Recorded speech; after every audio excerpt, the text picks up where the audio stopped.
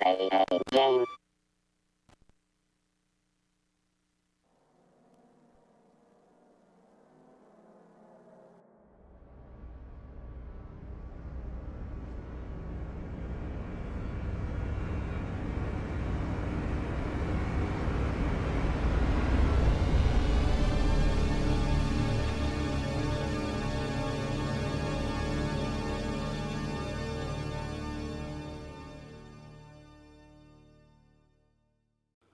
So um, it's funny that you should ask that. It's a great question. That is an awesome question. When you need to know, count on Sci Fi for Me to be there asking all of the questions. It's a good question. That's a great question. Interviews with writers, filmmakers, artists, and actors. I don't think I answered any of your questions. I'm bringing you news and opinion from all over the web. Sci Fi for Me, delivering the multiverse since 2009.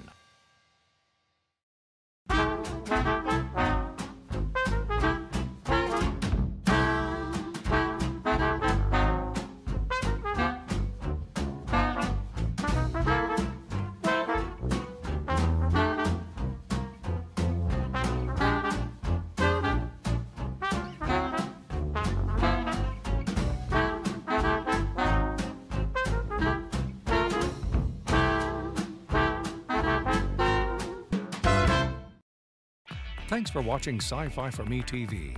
Be sure to connect with us on social media and subscribe to our channels so you don't miss our next broadcast. You're watching Sci Fi for Me TV, delivering the multiverse since 2009.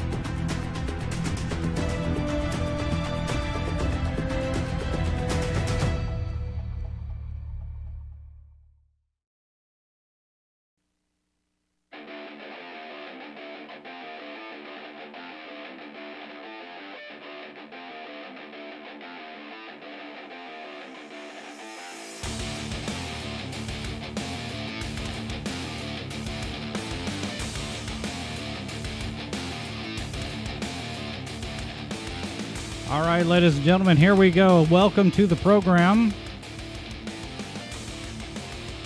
How's the sound? Sound okay? I think I figured out the problem. It was apparently uh, it was apparently Discord had a thing in its settings to uh, to keep changing the microphone input. So we've got that. Hopefully, hopefully things are things are where they need to be. Welcome everybody. We are live from the bunker. My name is Jason Hunt. I am the editor here at sci-fi4me.com. And uh, we are here live in Bunker 2.5, and you can see uh, Todd is here, and there's there's me back there. There I am. Todd's here. And uh, we've got the incident sign back up, uh, although it's not updated. It's not updated, but it's here. I've, I, I've, I've got it put up now in the new in the new space. So so there's that. Uh, yes, we are live, Cam. and uh, that means that you can participate in the live chat Uh, although I do want to give a warning that we're we're talking about certain things and not other things. So.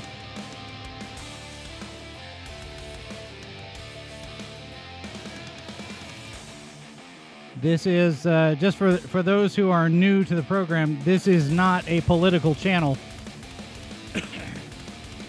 and yes, we're live, so you can join us live. If you're not with us live, you can still leave a comment. Email address live from the bunker at sci-fi All the social media is still out there. Uh, we got a Discord. Like I said, we've got a Discord server. We have a newsletter you can sign up for. So there is all of that. Let us uh, let us first start with this uh, real quick bit because uh, I think this is of interest uh, to certain people. This is a headline over in Forbes getting posted to Twixer. Indiana Jones whips up $130 uh, $130 million loss for Disney. The story by Caroline Reid. I haven't uh, I don't have a subscription to Forbes. So I can't read the whole article. I guess I can pull it up in archive. Indiana Jones and the Dial of Destiny failed to cover its costs at the box office, according to financial statements released on Friday, which show that Disney spent $134.2 million more on making the movie than it is understood to have received in ticket sales. Oh, what a shame. Who could have seen that coming? Oh, wait. All of us. All of us. And one, two, three, four, five, six. I actually have seven screens, not six. And no, I'm I am not I am not 4chan. I don't I you know, I don't I don't even know I don't even know if I could uh, I don't I don't have any hacker skills at all. I, I do have some investigative skills, but I don't have any any hacker skills. Too bad. Too bad. All right, where do we start? This is going to be a short show. Why don't we start? Because Cam Cam said that he came here for the for the thumbnail.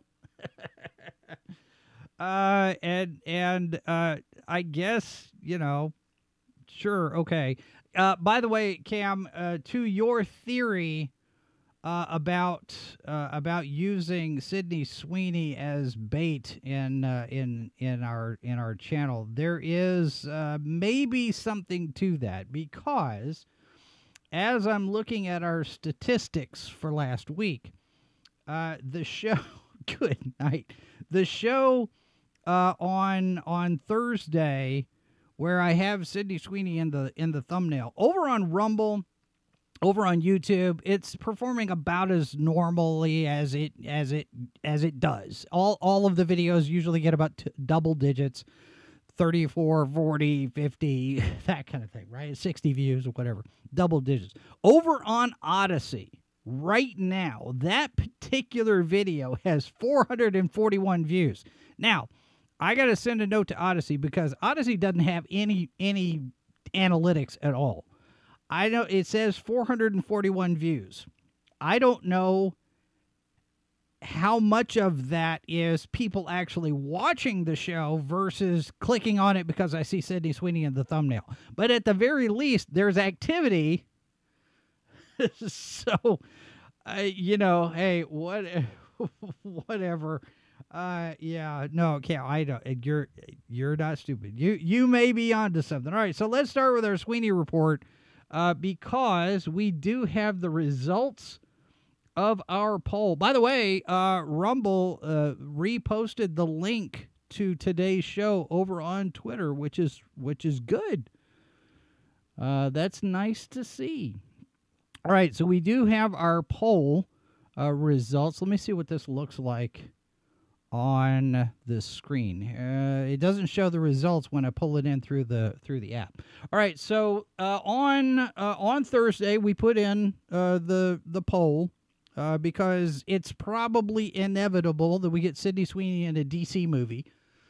And so I put a poll up saying, you know, where what do you what character do you think she could play? And the the top choices, of course, Black Canary and Power Girl. Those are the ones that come to mind immediately. And I thought about some others: Cat Grant, Lana Lang, Maggie Sawyer, Um, uh, Stephanie Brown is a possibility. And so we have here the results of the poll 34 votes. Those are rookie numbers. 34 votes. Uh, Black Canary at 23.5%, Power Girl at 67.6%. So at least over on Twitter, people think that Sydney Sweeney should be uh, should be playing Power Girl. One man show. I'm not gonna. I'm. I'm. I'm not gonna help you jinx it, but hopefully, uh, hopefully that uh, that does look right. Wait a minute. Why is it? Oh, there it is. that may have. Uh, let, let me know if that does help resolve some things. Uh, with uh, with your switch there. Okay, so there is the Sweeney report. And uh, like I said, we do have we do have Todd in the house. Everybody say hi, Todd. Hi, Hi, Todd. And uh, the days without incident, uh, that number is not accurate. I need to update it because it's been a very long time. That thing has just been hanging, and I've got to uh, I've got to update that. Um, let us let us start with a couple of p- big pieces of news with regard to the Disney thing, because coming up on Wednesday, the third,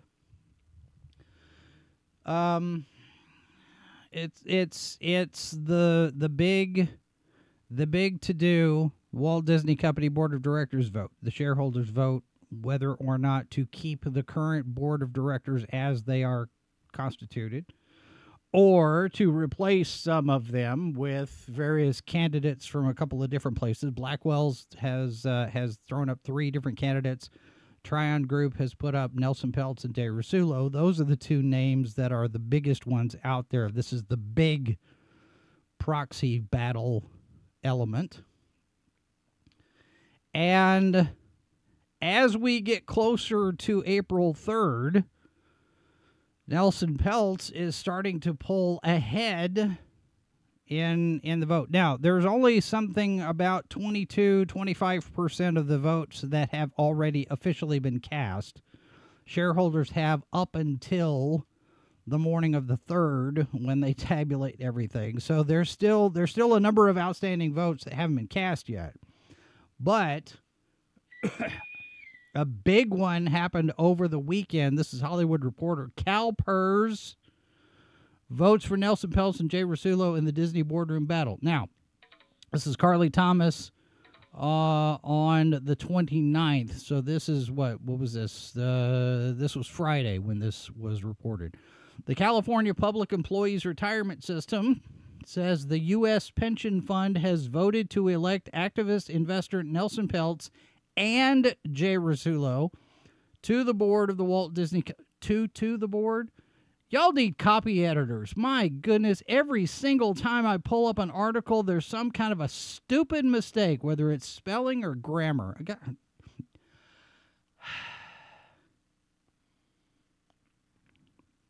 Guys, I know I'm being picky, but still, this is basic. This is elementary school stuff. Come on. Uh, Reuters reported this on Friday. CalPERS believes Walt Disney Company will benefit from fresh eyes on its board of directors and voted its company shares in favor of candidates Nelson Peltz and Jay Rasulo. CalPERS, which owns 6.65 million shares, and the media giant at the end of December told the outlet.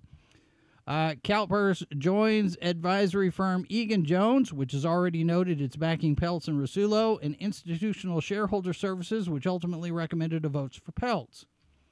The vote comes just days ahead of Disney's annual shareholders meeting on April 3rd, where the final showdown is set to take place over two seats on the entertainment giant's corporate board. That's when investors will cast their votes for the board. So this goes into the whole the history there. But this is another big heapum deal. Now, now Mrs. Boss is from California. Still has uh, family out there. CalPERS is apparently a big deal. This is this is one of the big ones. And so for them to come in and say, "You know, maybe Nelson has a point." This is big. In the overall grand scheme of things, None of it matters, but in this context, in this little microcosm here, uh, this is a big deal because this is, I think, this is part of an overall trend in retirement funds making a decision, making choices, because we've started to see uh, a number of, of companies, a number of retirement funds pulling their their funding, pulling their investments from the Walt Disney Company. Um, a couple of different ones. I think. I think South Carolina. We've talked about this before. South Carolina, and I think. Uh, I think te- Texas. But you've also got companies like BlackRock losing investors over their DEI ESG stuff. And I think we're starting to see more pushback against these companies that have gone down this DEI ESG road and the shareholders and the investment firms and the and the retirement funds they're sitting there going, "You know what? You have a fiduciary duty to bring value to the company for the shareholders to benefit." Now, the shareholders are not all big multi-billionaire rich guys you have regular people who have their 401ks and their retirements in, invested in some of these companies and they they don't have any reason to support a company that decides that they're going to commit seppuku on the on the altar of ESG DEI. No, no, no, no, no, no. I put my money into this investment hoping to get more money back. That's the responsibility that these companies that are traded on, on, on Wall Street, they have a responsibility to their shareholders to increase the value of those that stock that they own. And I think some of these companies are starting to realize, hey, this this ESG DEI stuff, this is a losing hand. It's a losing proposition. And it's time for us to do something different which is why BlackRock is losing money, which is why the Walt Disney Company is in the middle of this giant proxy battle. the stakes are high. And we have this from Variety that came out uh, today. Disney Board Showdown What's at Stake at Contentious 2024 Shareholder Meeting. Todd Spangler reporting here and Variety. Usually, he starts, shareholder votes for corporate board directors have all the suspense of a Soviet style election. Most of the time, director candidates are backed by the company and they run unopposed, winning election or re election in a landslide. In 2022, only 75 board endorsed candidates at companies in the Russell 3000 Less than 0.5% of almost 17,500 board members on the ballot that year failed to get elected by shareholders, per an analysis by the Harvard Law School Forum on Corporate Governance, which also noted that while small, the number had dramatically risen versus 2017. For, to- for Disney, the 2024 shareholders meeting is different. Uh, investor, it goes through all of this. Let's see. Um, do do do do do do do do do do do do do do do do. So this is going through kind of the timeline. What's what's Peltz's position? He wants the Disney stock price to go up. He thinks that the board has fallen on their responsibility to do that. Uh, that uh, that uh, Disney has has botched the CEO succession with the whole Iger Chapek Iger thing. And uh, of course, Iger is not a target. No, no, no, no, no. I mean, he's not going to last very long after if if Peltz and Rasulo get on the board, but he's not a target, of course. YouTube gives me a an error. Let me know if YouTube starts uh, starts buffering, yo, folks, just in case. Uh, then they get into Disney's response, which has been mighty and they've spent a lot of money and they've called in a lot of favors Bob Iger has to uh, to to maintain the status quo and I don't think they're going to win. Uh, what are the chances Peltz will win? While Iger has dismissed Peltz's proxy fight as a distraction, Trian could potentially pull off an upset and get the votes to secure at least one seat on the board. Now, this this to me is a signal. They're anticipating that at least Nelson Peltz is going to make it to the board. Oh, excuse me. They're they're thinking they're going to hedge their bets here. Somebody has said to Variety it's okay to allow for the possibility that Nelson Peltz is going to win. Because it looks like Nelson Peltz is going to win. It's a in a big win for Trian influential. Okay, that goes through all of this. Uh, ISS, uh, Egan Jones, CalPERS. At the shareholder meeting, Disney's directors will be elected on a plurality basis. That means that the 12 director nominees receiving the greatest number of four votes cast will be elected. Withhold votes and any broker non votes will not be counted as votes cast. So you've got the, I mean, this is a pretty big, the long article. So you've got uh, who's supporting Disney. You've got Glass Lewis. You have um, uh, George Lucas, which we've talked about that. I think that's a manufactured support. Uh, Laurene Powell Jobs. I also think that that's a favor that was called in. Uh, the grandchildren of Walt Disney and Roy Disney doesn't mean much because a lot of them are communists. Uh, Michael Eisner. So, and then you have the the stuff about Blackwell's lawsuit, and we talked about that on Friday. Uh, the thing, the thing that they suspect that uh, ValueAct was getting additional information that the other investment groups were not getting, and so Blackwell's is suing over that. Uh, what else is up for vote at the Disney shareholder meeting? Here's something uh, I have not seen a whole lot of discussion about. Some typical proposals: ratification of the appointment of PwC. Uh, I guess that's PricewaterhouseCooper as the company's independent registered public accountants for fiscal 2024. Uh, consideration of an advisory vote to approve executive compensation packages. Okay. Uh, various shareholder proposals. Uh, one seeking to cap golden parachute executive pay packages. Is, is there a, is there a is there a shareholder vote at all to remove Kathleen Kennedy? I I, I could ask the question. So that all of this to spell out here's here's the fight. Here's what's going on in the fight. Here's what the proxy battle is about. But buried in that is that one statement. That one statement here Trian could potentially pull off an upset and get the votes to secure at least one seat on the board. That's the biggest takeaway for me on this article. Because this is the trades acknowledging, at least, and somebody told them they could, because the trades are basically the PR department for the studios. So somebody said, oh, yeah, I guess. So we have this signal now publicly in the trades that Nelson Peltz could win. So they're laying the groundwork. They're anticipating April 3rd comes around and the shareholders are going to sit there and say, yeah, you know, Nelson Peltz kind of got a point. Let's put him on the board and see what he can do. And even if Jay Rasulo doesn't make it on the board, I would suspect because we were talking you know, now now that the con- the the conversation has gone all about succession. I I wonder and this is me just speculating idly because I don't know.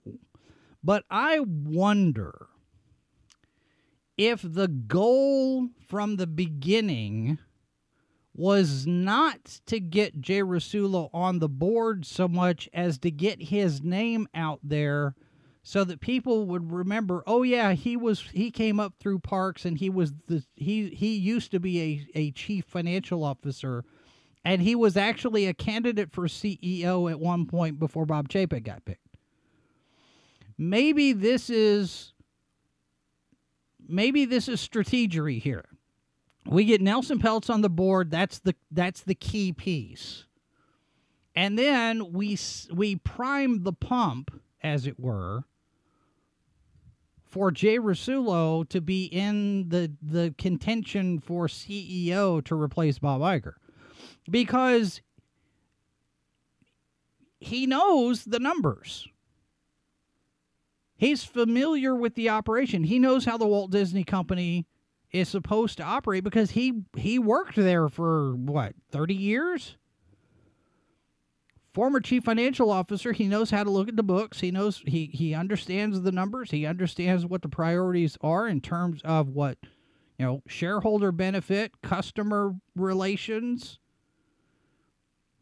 they did that that roundtable video and and he said look you know it should not be you know, it should not cost your your life savings to go to Walt Disney, Disneyland, Disney World. It's too expensive, and we need to get a hold on that. We need we need to we need to figure that part out.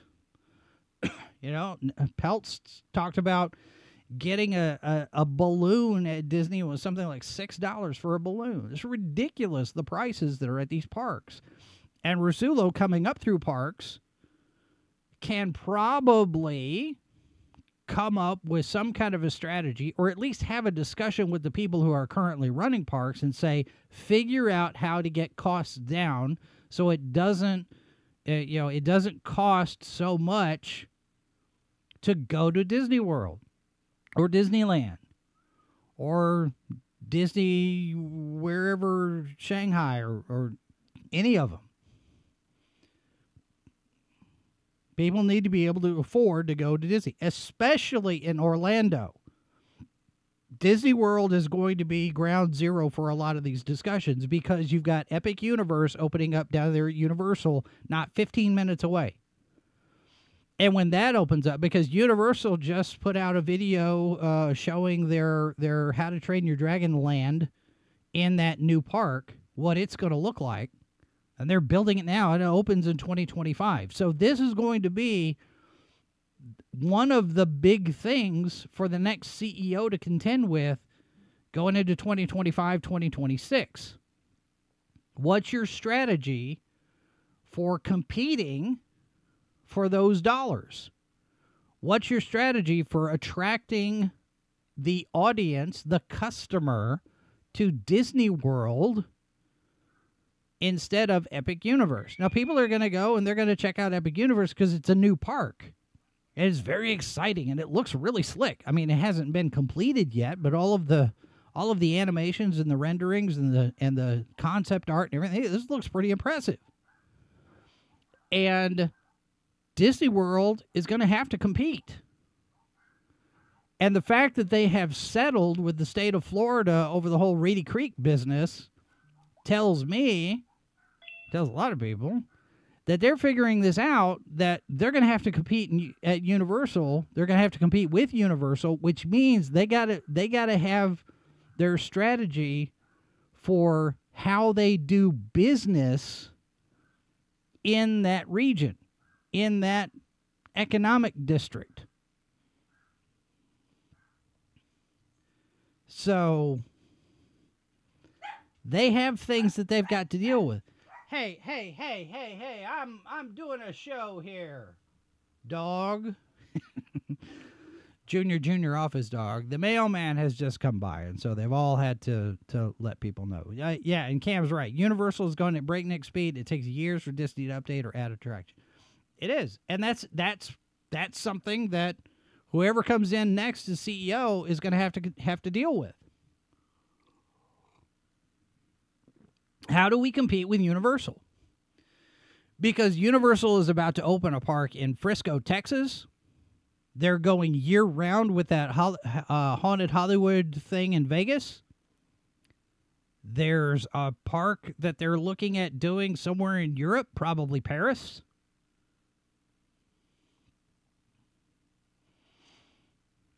Universal is moving. And Disney's going to have to compete. So I I I'm going to make a prediction. I'm going to make a prediction. This is completely off the cuff. I don't have any expertise in this. I'm I I don't own any stock in the Walt Disney Company. I don't know. I'm going to make a prediction. I'm going to say that Nelson Peltz gets on the board. That's a for sure at this point, I think. Jay Rasulo maybe.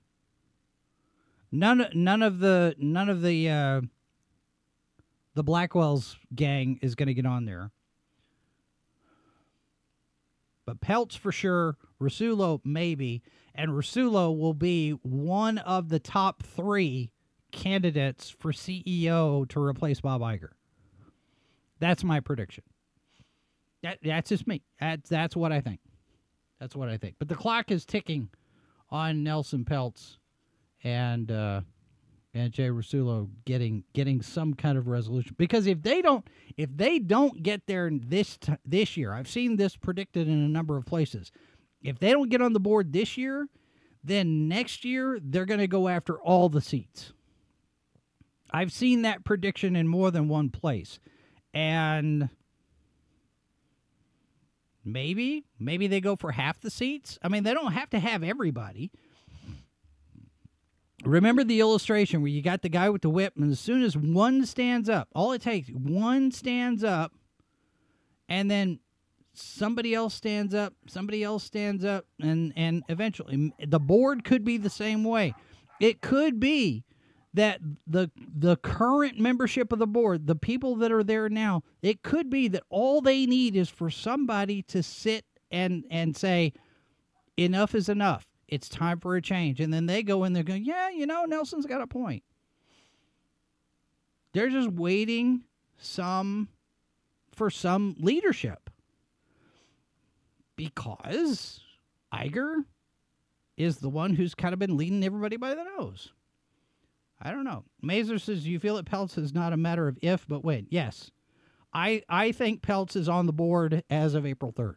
I think he'll win a seat it's looking cause, because we've had enough stories now that the momentum is shifting that I that I think it's a for sure thing, ninety eight percent for sure thing that Peltz is going to get on the board as of Wednesday.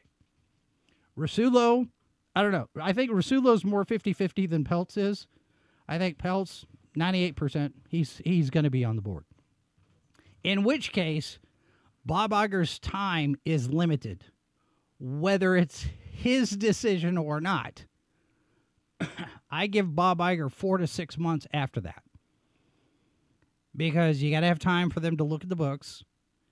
And I would not be surprised if Peltz has Rasulo on board in some capacity. Even if he doesn't get on the board, you know, it let's look at everything, tell me what this means type of thing some analysis. Yeah, Death Angels when yeah when when that one came out, I mean, Mindy looked at me and said that was that's a big one. That's that's huge.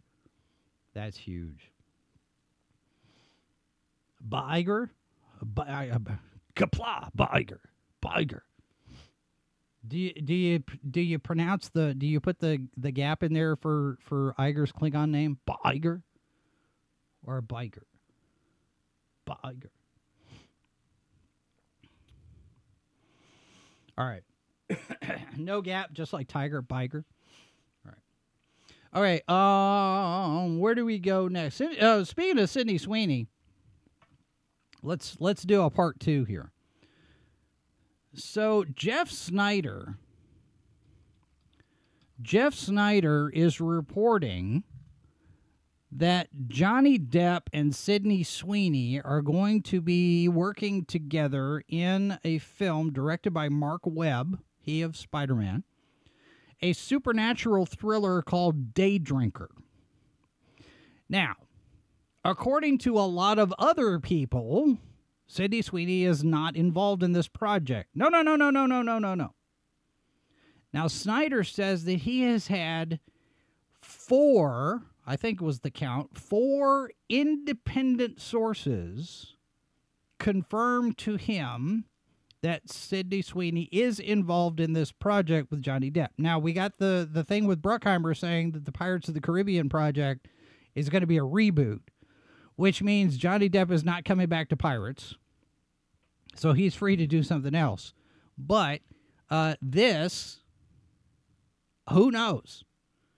And and I, it it it surprises me, it confuses me. I'm not sure why Sweeney's people, because Sweeney's representatives have said that this isn't happening. I don't know why they would deny it unless it's a strategy of some sort, you know, negotiations or some kind of a some kind of a calculated thing for some reason. Because Sweeney's got producer's credits. She's smart. She has proven herself to be a pretty smart cookie, and I'm wondering if there's some strategy here. But this seems to be a done deal, at least according to Sneider. He says, I know everybody's denying it, but I got four different sources, independent of each other, and they're all telling him that this is going to happen. So, so we'll see. We'll see how that goes. Jeff Sneider there on the inside. All right. Here's another inside thing. Maybe. I don't know who this account is. Empire City Box Office posting over on Twixer uh, on the 30th. This will be on Saturday.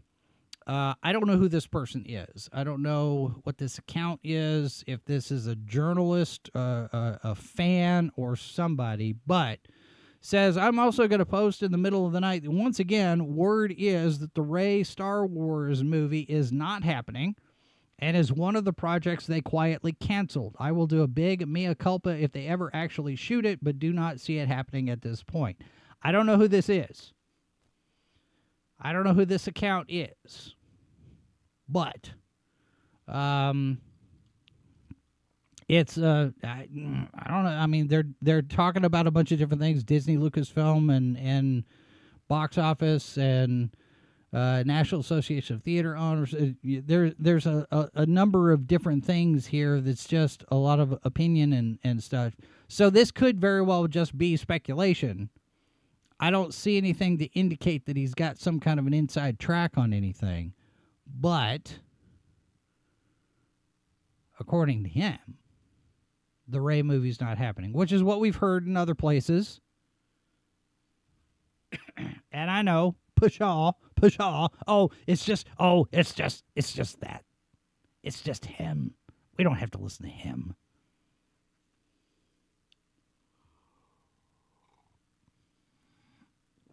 I don't know.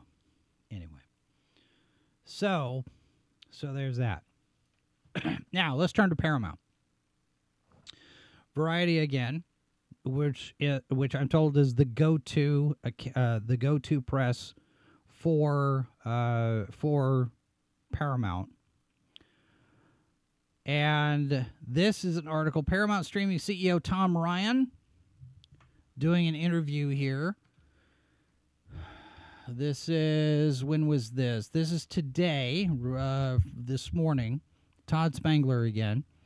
Tom Ryan co founded the free ad supported streaming service Pluto TV, which launched 10 years ago with a linear TV like grid and a cluster of live channels stocked with online videos. Viacom, one of Paramount Global's two predecessor companies, acquired Pluto TV for $340 million in cash on January 2019. Ryan stayed on board as chief executive of Pluto in October 2020, he assumed leadership for the parent company's entire streaming operations, including CBS All Access, which relaunched as Paramount Plus in early 2021. So let's establish his bona fides, his credits. He's got this is his history.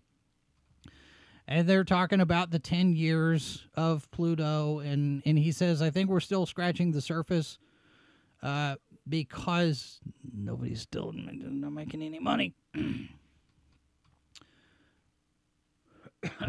As for the Paramount Plus side of the house, which has soaked up billions of dollars of investment and remains unprofitable, Ryan disputes Wall Street naysayers who believe the subscription play is a lost cause.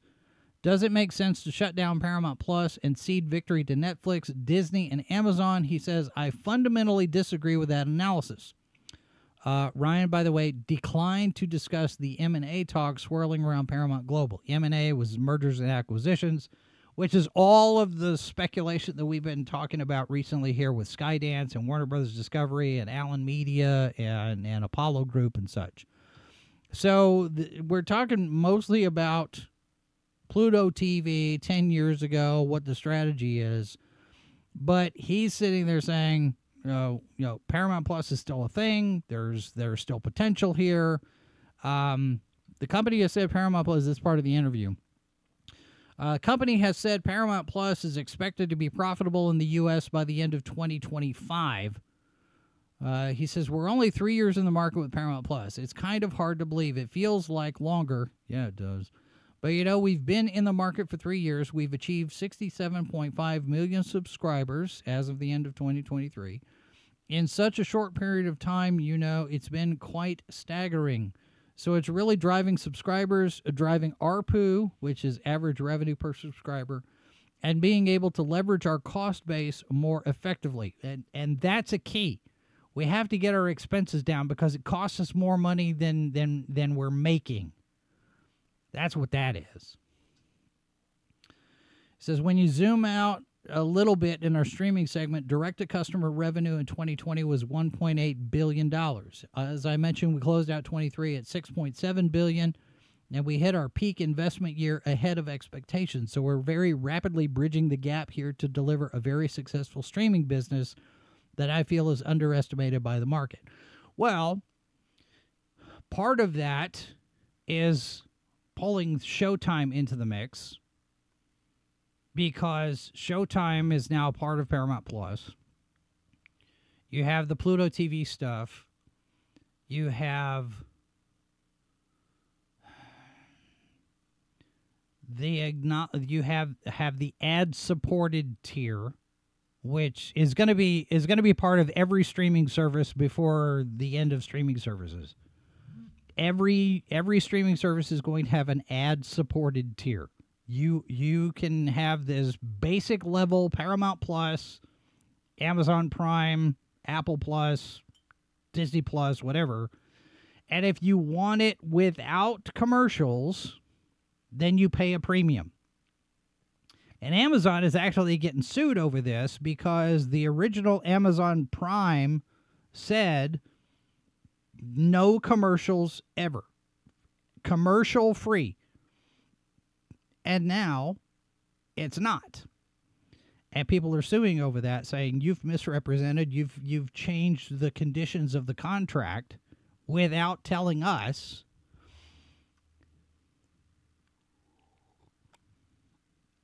And there we go. Death Angel Shadow says if it has ads, then it better be free. Well, and then that's and that's where all these fast channels are coming from, right? The free ad-supported television. And and some of these some of these studios and some of these networks are getting involved in those, and there's something like 1500 that are out there. And that's that's what they do, you know. Ad supported it's free television. It's streaming. It's not over the air, so you don't have to have an antenna or a box or anything. It's like it's like basic cable, or or not not even basic cable. It's like network television back in the day. All I, gotta do is just turn on the TV, move the rabbit ears, and pick up a channel. You know, it's it's it's a broadcast signal that's just out there in the airwaves.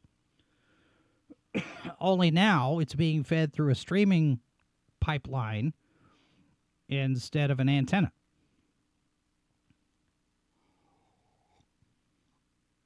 What's wrong with over the air? Not not nothing. It's just the next you know, streaming is the next biggie wow, big heapum technology. And there will be something else that comes out a- after that, whether it's holographic technology or or or microchips in your head or something, you know, causing you to hallucinate. Who knows what the next thing is going to be? the Neuralink chip.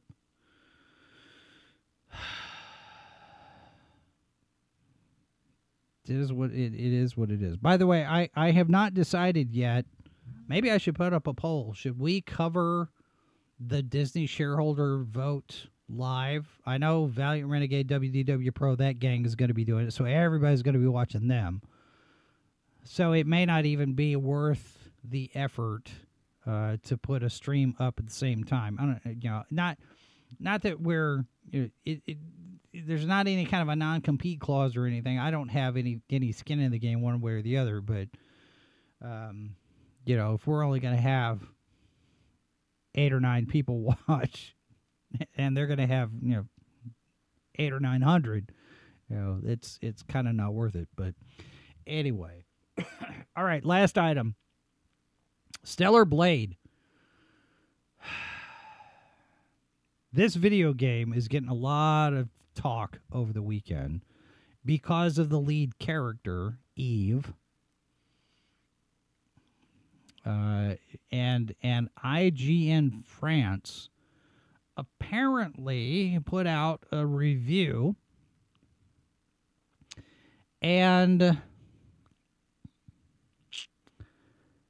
they've already had to backtrack and revise their review based on blowback that they've received. Uh, this this here is is Mark Kern over here at uh, uh, Grummz over on Twitter. This is this is a piece. This is a, a clip of the article screen grab from the IGN France. Now I don't know how different IGN France is from IGN. It's all the same thing, right?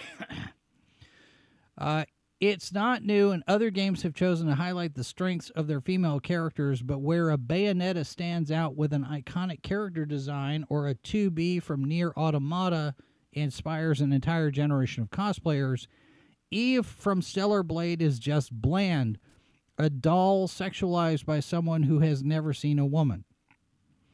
Now, that's that's been since edited but it's clearly a jab at the people who are sitting there saying this this game looks pretty good. And I've seen a lot of clips of gameplay of actual combat in this thing, not just look at the jiggle uh, fi- jiggle physics. Is that is that how it is?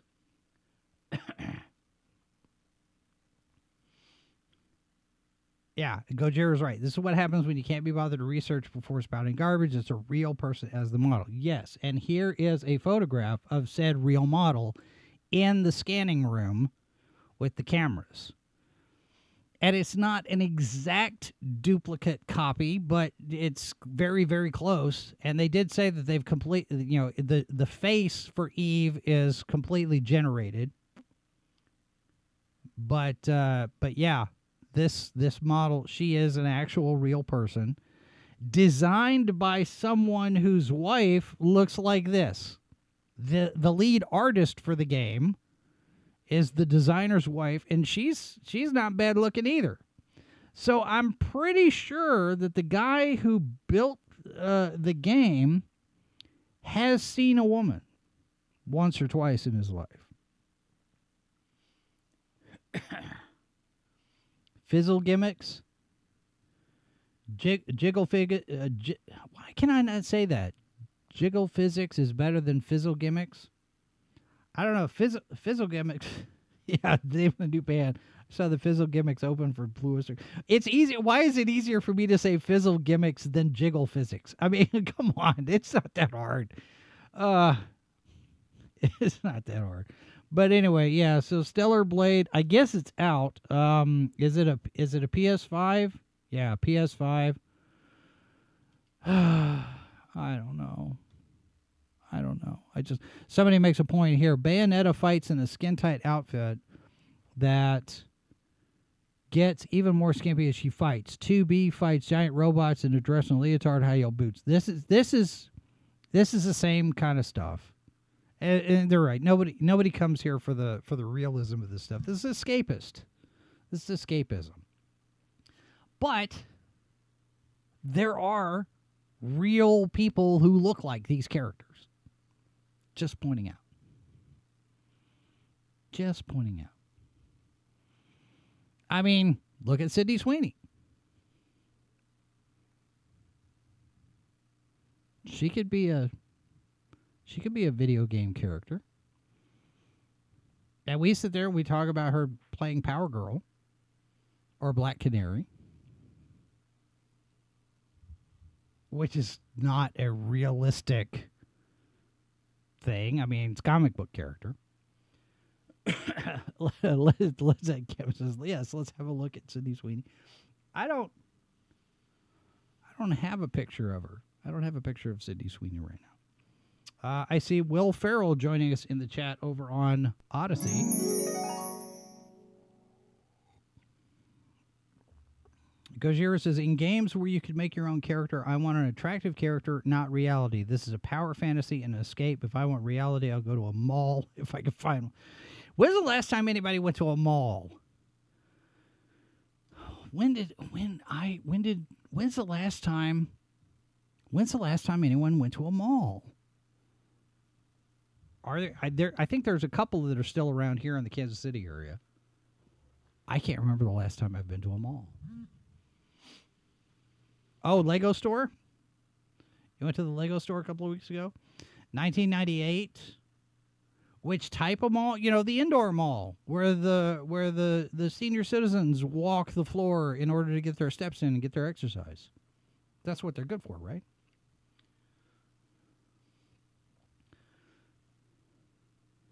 Because here is movie theaters in ones, a handful of shops, indie storefronts, and an aquarium. All the new malls are inside out now with parking in the middle. Right. Dave says three weeks ago for his last mall visit. Okay, so maybe it's not as unusual as I as I was making it. Although, to be fair, I don't get out much going anywhere except Home Depot and Tractor Supply for the compound. I mean, I'm I'm I'm in I'm in garden mode. So I will go. You know, date night is Home Depot for for me and Mrs. Boss. So we'll go and we just you know we just got a couple of uh, pieces of cattle cattle fencing for uh, for a for an arch trellis that we're going to put in the garden. Um, I just planted radishes, and I've got a critter digging up my potatoes. I'm not too happy about that. But see, I'm not I'm not in I'm not in the the the mindset anymore of going anywhere. I rarely get out. I, I go, if I have to go to a job site for work, I'll go to the job site for work. I come straight back. I have to go to Home Depot or we go to Sam's. You know, we got to get our supplies and, and whatnot. But I don't, I don't get out. I don't know. Uh, Death Angel says, Did you hit your last frost date already? I thought I had. I thought I had, and then we had three days where uh, overnight temperatures were in the 20s last week. So I don't know. I, I'm I'm hoping we are. I would like to be past our last frost date because I would like to get stuff in the ground. We've got broccoli started. We've got uh, gourds started. Spinach can survive a frost. Okay, good to know. I don't think my strawberries are going to make it. This is my fourth attempt at strawberries. but we've planted gourds, we've planted loofahs, we've planted broccoli, cauliflower. We've got those started. I put strawberry corn and black eyed peas in the ground. I don't think they survived the frost, so I'm gonna have to do those those again. Um, and uh, I don't know what critter pulled up my potatoes. It might be a raccoon. So we've got fencing that we've got to put up. It's just there's just so many different things. I've got I I did find where did it go? I did find my my compound to do list that I've been looking for for a couple of weeks, so I, I at least have that. But we've been cutting back. We've been cutting back uh, honeysuckle. Pulled a tree down, a little a little tree bush thing. so, uh, says. Um, Oh, our our last frost is supposed to be April eighth. Good night. Uh, "Do you have room to pot the strawberries instead of direct in ground?" I do have uh, I do have them in pots. So we're gonna we're gonna try. We're gonna see what happens. So and yeah, a lot of times we come in and and bring the stuff in our our patio. We have a heater and we've got insulation and stuff, so it it it stays warm throughout the winter. So. Hey, there's Canard. I haven't seen Canard in a while. A few years ago, the mall in McAllen, Texas went through a massive expansion. They had to build a four level parking lot to make up for all the lost ground parking. I know where McAllen is. I know where McAllen is. All right, so those are the headlines for today and my commentary on same. Uh, where are we at here? We're almost at an hour. okay. so here's what we're going to do. Um,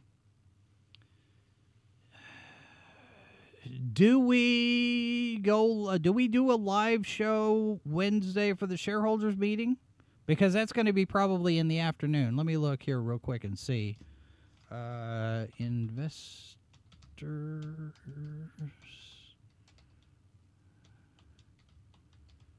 Uh, let's see here. Walt, Walt Disney investor site.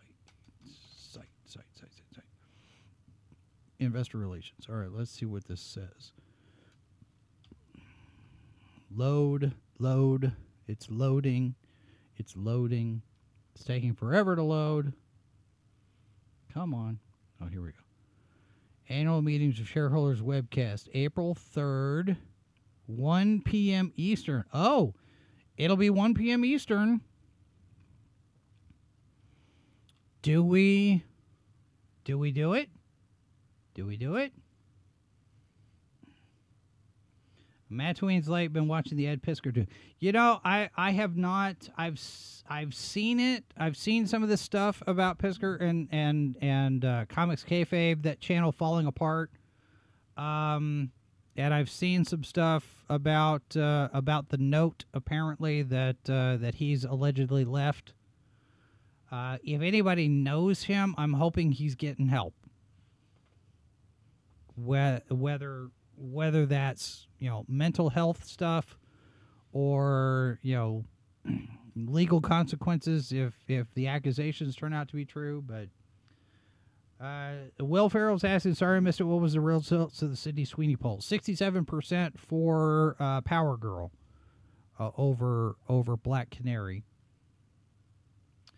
For oh, he's still missing. Oh wow. Yeah, yeah. That's a that's a bad situation. That thing's that thing's falling apart. Thing's falling apart. All right, so we got the meeting of shareholders webcast on Wednesday, 1 p.m. Eastern, which is right as this show would be starting. So I guess we could jip it. We could cover it live because that's that's kind of what we do here. I can see if uh, I can see if Dan and and the gang, you know, Dan and Matt, maybe we get Destiny to come in here and talk some legal stuff. But um, but yeah, I guess maybe we could. I suppose. Um, yeah, 67.6% in favor of Power Girl, 23.5 for Black Canary. So, somebody suggested Sydney Sweeney for Starfire. I don't see it. I don't see it. Not Starfire. She's not tall enough. Somebody suggested Ice. As in fire and ice. I think uh, I think I think my son James suggested ice. It'd be a possibility. I could see her playing Stephanie Brown. Starfire is like six. Starfire, uh, eh, uh. you know, I have been trying to get Danica McKellar on this show for uh, for a couple of years now, since her last math book came out. I've sent invitations. I, I have contacted her representatives. I've said, we've got this live show. I would love to sit and talk about Danica's math books for an hour, and I never hear back. Oh, she's six foot. Yeah, Starfire's tall. Starfire's tall. Power Girl, you could get away with it. Black Canary, you could get away with it. She doesn't necessarily have to be a specific height. Actually, a shorter a shorter Black Canary would work because of her proficiency in judo. So you can actually do somebody who's relatively short for Black Canary. I don't know. I it's we'll we'll see. It's I don't know. It would be it would be something to see. I if if you've got Sydney Sweeney as Power Girl, who do you play? Who do you get to play Black Canary? Um. Well, dep- since since we're going young for everybody, because David Cor- David Corenswet, uh, all, all the people that are coming in on the Superman cast are younger. You could do yeah, force perspective to the rest. Yeah, you could do some of that. Uh, Kiernan who played um, uh, Sabrina the Teenage Witch, she might could be a Black Canary, maybe. Maybe. Um, I don't know. It it depends because if if DC Films is coming in with younger Superman era characters, Lois Lane, you know, Hawk Girl, and and that's it. But you've got see what throws me off here is you've got um, Nathan Fillion playing Guy Gardner.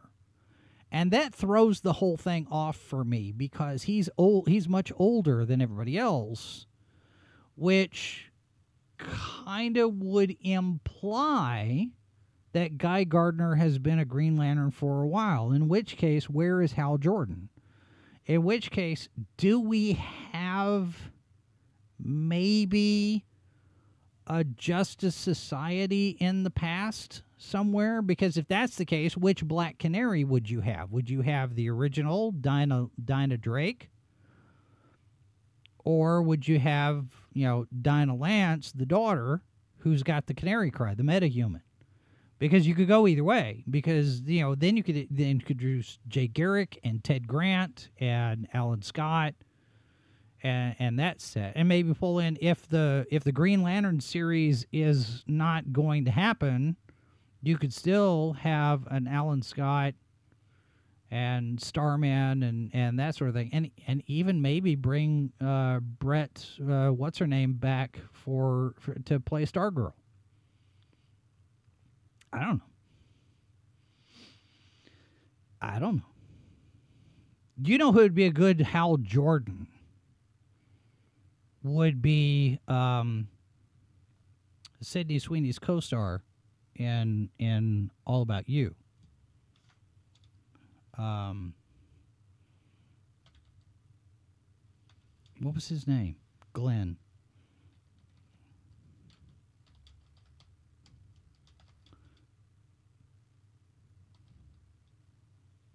Um, no, wait, where is it? Anyone but you. Glen Powell. Glen Powell would do well as a Hal Jordan, I think. He's he's he's he's cocky enough. He can do that, but he can also do you know the the heartfelt, emotional stuff. What I don't what I don't like is in in the in the recent developments having Hal Jordan be a pacifist, and, and this goes back I think to New Frontier. But I think Glen Powell would be a pretty good Hal Jordan for me. I don't know. We'll see. We'll see. Ryan Gosling as Guy. Well, no, no. Guy Gardner is is set. Nathan Fillion is actually playing Guy Gardner in the new Superman movie. That that's been that was announced what six months ago, or three months ago. I I can't remember. But yeah, Nathan Fillion is playing Guy Gardner, which is I why? He's not even he's not even a ginger. But compared to everyone else he's he's older. I i can't i can't divine the strategy for this casting.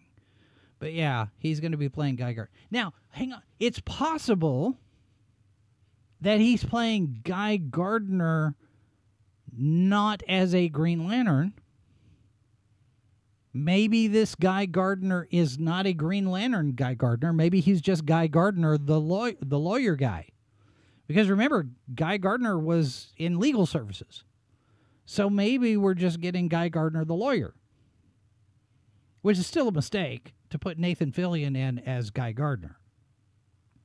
Because if the character gets a good positive response, you know, social services, yeah. If the character gets a good response, then maybe he gets a spinoff. In which case, the older the actor, the fewer the movies that you have that you could do with them before you have to recast because they can't do the stunts anymore. I don't know. I don't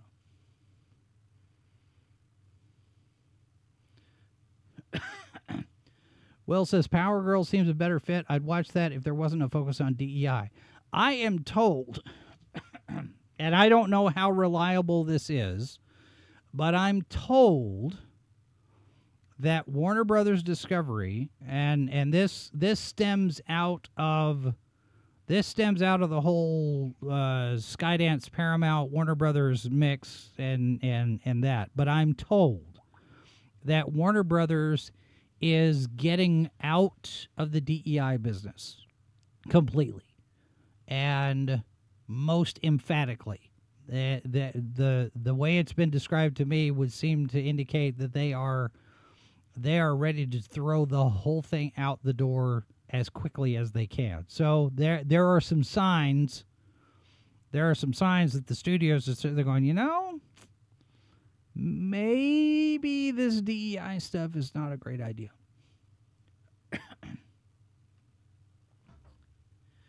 maybe. Now, Gojira thinks it's uh, maybe Fillion got it because he's been begging to play Green Lantern, and they're hoping he'll bring Firefly Flynn. That's possible. He's also friends with James Gunn. He's in a lot of stuff that James Gunn has done. But if you're going to cast Nathan Fillion as a Green Lantern, why not let him play Hal Jordan in live action the way he has in animated? Because he's already played Hal Jordan in the animated stuff more than once. I think. I think more than once. At least once. I think. I think more than once. Why not let him play the live action Hal Jordan? And then you can get a younger guy to come in as Guy Gardner who could become, you know, Hal Jordan somehow, you know, whether you do the parallax story at some point or not, you know, there there's in the comic books we've got what five different Green Lanterns of Earth. So it's not a it's not a problem to have more than one Green Lantern.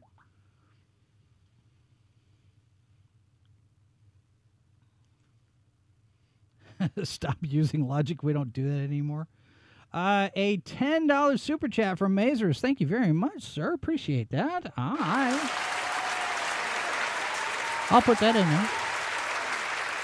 Good to have that. It says, I'm still incredulous that DEI is even a thing at all. It again makes me ask if the Hadron Collider didn't open up an alternate universe portal somewhere around 2012. Maybe. Well, and speaking of that, you know, we're going to get uh, on the 8th, right in the middle of the eclipse, they're going to turn on the they're they're going to turn on the collider at CERN again to see what happens. So, you know, this all could be rendered academic next Monday when they open up a black hole in Switzerland, right?